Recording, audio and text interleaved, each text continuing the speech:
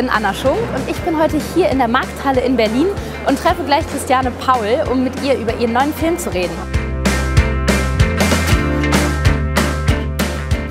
Ihrem neuen Zweiteiler, der heißt Die Himmelsleiter. Was äh, hat Sie gereizt, diese Rolle anzunehmen? Spannend natürlich war, äh, es ist ein historischer Stoff, es spielt in Köln in der Nachkriegszeit 1947 bis 48.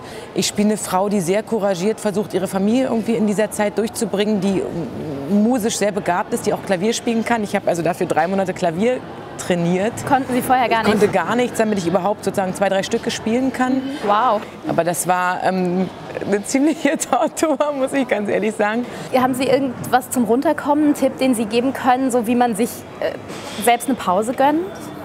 Ich fahre wahnsinnig gerne Zug.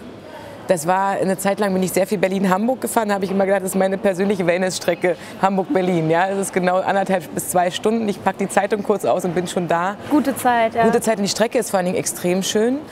Und ähm, gerade im Winter, manchmal sieht man so Füchse, manchmal ist es verschneit und da, manchmal gucke ich einfach auch nur raus ja. und ähm, habe so Zeit für mich. Und das ist tatsächlich was, was ich total gern mag. Kommen Sie sich für Ihre Rollen verkleidet vor? Also ist das ein ähnliches Gefühl, wie das vielleicht der Normalbürger beim Fasching kennt? Oder äh, ist das was anderes, weil man sich mehr identifiziert mit seiner Rolle? Ich glaube, es ist schon was anderes, weil man sich auf eine Art identifiziert. Also ja. man, man, nimmt das an als Rolle. Ich meine, selbst bei einem bei Fotoshootings können ja manchmal sehr ex viel extremer zum Beispiel sein. Ja. Und selbst dann muss ich aber im Endeffekt eher einen Bezug zu dieser Art Kostüm finden, weil du ja damit wieder was transportieren ja. willst. Und ich denke, das macht der Normalbürger auch. Ja. Puck, ja, aus dem Sommernachtstraum, da haben wir, es war so ein Theaterstück, was wir ähm, gemacht haben in der Schule, da war ich, glaube ich, vierte Klasse und habe gespielt tatsächlich äh, in so einem eigentlich kleinen Muckkostüm und habe den Puck aus dem Sommernachtstraum gespielt. Das sind so meine Verkleidungserinnerungen, die dann aber auch eben toll waren. Ja. Weil das natürlich irre hilft. Wenn du ein gutes Kostüm hast, bist du natürlich auch viel näher an den Figuren dran schon.